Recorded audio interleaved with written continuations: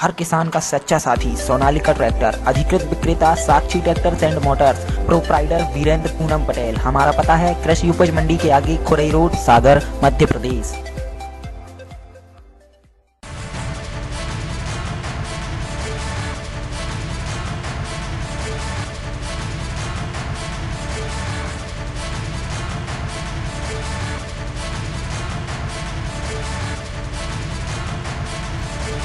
बंगाल का जादू, जिससे लोग अभी भी खौफ खाते हैं, उसी बंगाल से कुछ लोग देसी जड़ी बूटी का मलहम बनाकर घाव खत्म करने का दावा करते कर आज बुंदेलखंड के गाँवों में जम गए हैं और इनकी बड़ी बड़ी अस्पतालें भी खुल गई हैं। यह चांसी डॉक्टर आपको हर एक गाँव में मिलेंगे।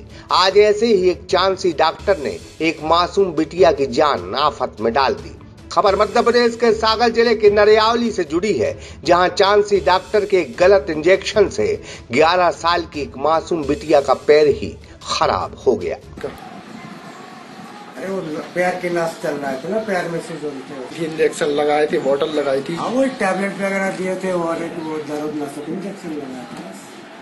मेरा मेरा वो सागा रहने हमने इलाज नहीं किया हमने कुछ नहीं चिरा मेरा लगा उसको तो आपने सिर्फ़ एक इंजेक्शन लगाया था? बस, वो तो पंद्रह बीस दिन हो गए उसको पहले। ही से नाश चल रहा था ना उसको।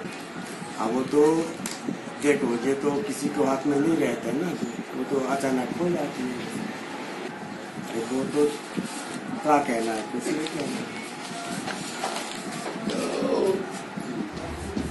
असल में दो माह पहले तोड़ा पाली का रहने वाला पप्पू यादव अपनी 11 साल की बिटिया का पैर में दर्द होने को लेकर नरियावली की चांसी डॉक्टर के पास गया, जहाँ इस डॉक्टर ने उसे एक ऐसा इंजेक्शन लगाया कि नंदिनी के पैर में सूजन बढ़ने लगी। जब पप्पू ने इस पर डॉक्टर से बात की तो उसने कुछ दवाइयाँ इसको लिख कर दी, लेकिन जब उसकी सूजन और इंजेक्शन का घाव ठीक नहीं हुआ तो नंदिनी को सागर के डॉक्टरों को दिखाया गया, जहाँ उसके अलग अलग हॉस्पिटलों में तीन ऑपरेशन किए गए।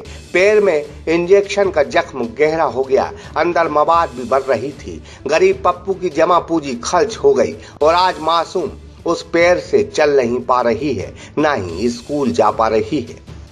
गुड़िया के पैर में दर्द भाव तो हम चांसी डॉक्टर के गए उन्हें इलाज करो, इंजेक्शन लगाओ।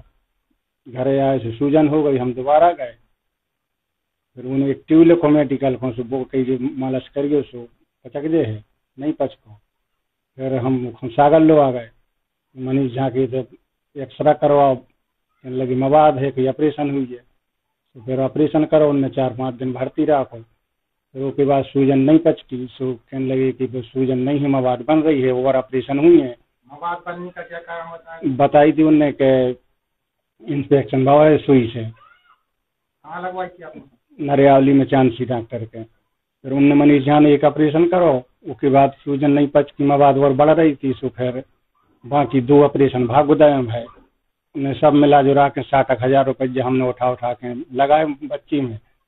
और उसके बाद इतने डॉक्टर के आए सो कहने लगे कि समझौता कर लो तीन चार आदमी आ गए नरियावली के कि हम पूरे बिल रखे जो हम तुम्हें पैसा दवा दे हैं। जी कर रहे कुछ लोगों के माध्यम से जब डॉक्टर की, पप्पू ने रिपोर्ट करने की बात की तो उसने इस मामले को रफा दफ़ा करने के लिए पीड़ित के पिता से कहा कि हम इलाज के सारे पैसे आपको देंगे, लेकिन अभी तक इस पीड़िता और पीड़ित के पिता की कोई मदद नहीं हो सकी है। अब पीड़ित ने इसकी शिकायत पुलिस से की है। बहरहाल चांसी और झोला छाप डॉक्टरों की वजह से कई लोगों की ज़िंदगी खतरे में है या फिर उनकी मौत हो गई है। ऐसे डॉक्टरों पर स्वास्थ्य महकमा कार्रवाई करता ही नहीं।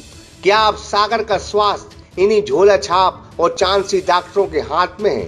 क्योंकि सागर के बुंदेलखंड मेडिकल कॉलेज और जिला हॉस्पिटल की व्यवस्थाएँ जर्जर हैं। तो गरीब और आम इंसान अपने और अपने मासूम की बीमारी का इलाज कराने के लिए इन नकली और झोला छाप डॉक्टरों के हॉस्पिटलों में पनाह लेकर अपने परिवार की ज़िंदगी दाव पर लगाने के लिए मजबूर है।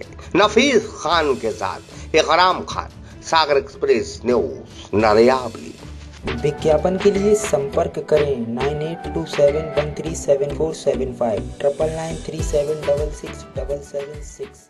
Sagar express news की वीडियो अगर आप YouTube पे देख रहे हैं तो उसे सब्सक्राइब कीजिए और अगर यही वीडियो आप Facebook पे देख रहे हैं तो उन्हें लाइक कीजिए और अगर आप कमेंट लिखना चाहते तो कमेंट भी लिखिए और आपका दिन शुभ हो, मंगलमय हो। यही हम ईश्वर से प्रार्थना करते हैं। नमस्कार।